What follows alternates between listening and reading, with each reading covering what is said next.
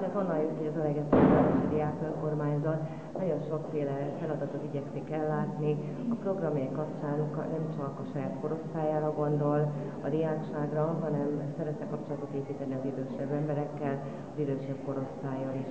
Itt tavaly próbaképpen eh, létrehoztunk egy ilyen közös találkozót, amely igazából az egyik ifjúsági iroda kezdeményezése volt, és miután nagyon jól sikerült program, ezért úgy döntöttünk közösen a kedves nyugdíjasok tagságával, hogy az idén megismételjük.